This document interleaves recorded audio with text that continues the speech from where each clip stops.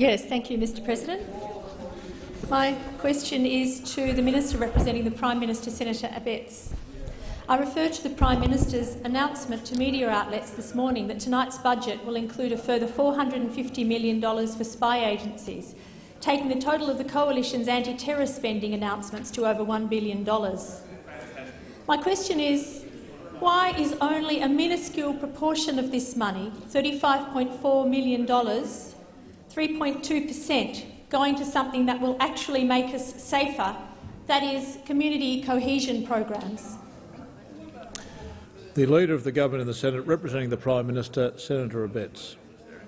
Mr President, I think I can understand why the Greens in the reshuffle moved Senator Wright a little bit further backwards. Because, Mr President, if there is one duty, if there is one duty of a national government, it is one to protect its borders from external aggression and then to protect its citizenry from the sort of activities to which the senator referred, and that is terrorism.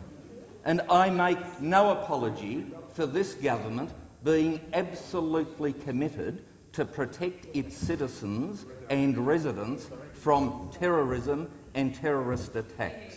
And the best way to do that, with great respect, is to ensure that the law enforcement agencies have the capacity to protect us laws against which the Greens continually vote against. Why, I do not know. In relation to social cohesion, of course everybody wants social cohesion. We all support social cohesion. But what we don't support, Mr President, are those people that deliberately embark on a course to ensure in effect, the downfall of our society, and that is what some of these people unfortunately are dedicated to. And Senator Cameron's laughing. Well, the death cult of Daesh, the death cult of Daesh, yeah, and this is a front bencher of Mr Shorten's. This is the Labor Party attitude on such a serious issue. It shows, and Senator Wong interjects and says, we show bipartisanship on this. Then let your front bench show it by their actions. Their actions speak so much louder than their words. Order. Order on my left. Uh, Senator Whish-Wilson. I understand you were speaking to the clerk, but I, I was on my feet for a while, and, and, Senator Betts was not addressing the question. He was addressing the Labor Party, a totally separate issue to the question that was being asked. Yeah, well, thank you, Senator Whish-Wilson. Uh, I think even the ministers acknowledged that. Uh, but thank you, uh, Minister. Have you concluded your answer? Yes, I have, and the time's run out yep. too. Senator Wright, uh, do you have a supplementary question?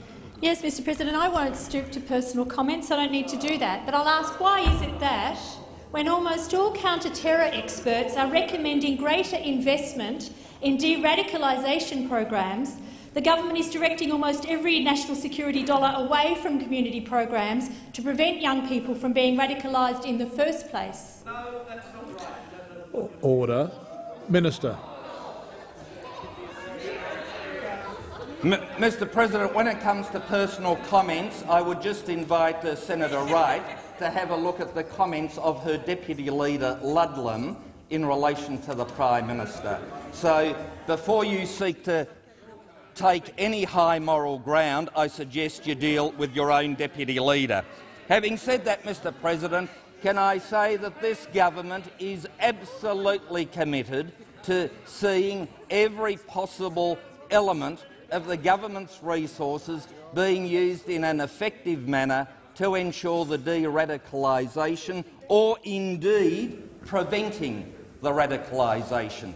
And that, of course, rather than de-radicalising somebody, we would prefer they were never radicalised at all. And so that is where we all in this place have an important responsibility, and part of that important responsibility is to say, without any equivocation, that IS Thank you, Minister. The time the for answering the question has expired. Evil. Senator Wright, a final supplementary question. Yes, thank you, Mr President. Can the minister clarify why the Prime Minister continues to use the term death cult even though experts say it is counterproductive, ineffective and does some of the terror groups' marketing for them? Is it because Order your government right. is more Order. concerned Just a moment, Senator Wright. On my right. Order. Order. Senator Wright. Is it because your government is more concerned with polling data than actually making Australians safer? On my right. Sen- Senator Brandis, you'll have to withdraw that. Thank you. Minister. Mr President, we make no apologies for calling these evil elements a death cult, because when you line up Christians and behead them on video, when you rape women and say that's okay because they are of a different religion and then kill them, you know what? That is a death cult. And I don't think any Australian would disagree with the use of that terminology. So now all of a sudden, people that engage in this behaviour should no longer be called murderers. They are murderers, we will call them murderers, and we will not rest as a government until such time as our population and the world population is safe from this evil death cult.